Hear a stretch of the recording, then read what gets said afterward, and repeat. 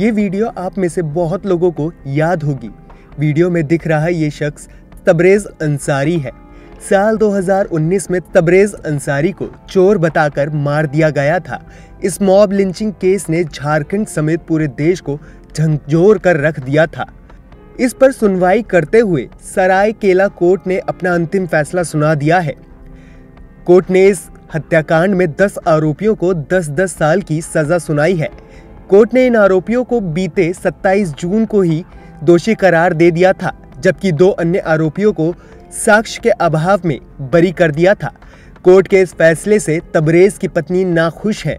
उनका कहना है कि वो हाई कोर्ट जाएँगी क्योंकि वे दोषियों को केवल और केवल फांसी की सजा देना चाहती हैं। आज के फैसले से हम संतुष्ट नहीं है। जो न्यायालय का फैसला आज आया है, ये ये उम्मीद नहीं था हमको, ये दस साल का सज़ा, कोई सज़ा नहीं है।